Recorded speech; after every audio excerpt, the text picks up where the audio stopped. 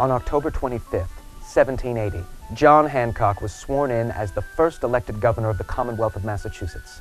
Accompanied by a committee of distinguished gentlemen, the governor elect boarded his favorite yellow carriage for the ride from his Beacon Hill mansion to the old State House. A company of cadets led the way to the State House, where Hancock was forced to make his way through a large crowd.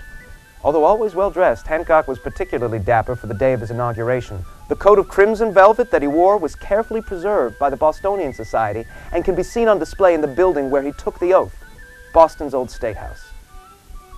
This Day in History brought to you by the Freedom Trail Foundation, partnered with the Massachusetts Teachers Association to bring history to life.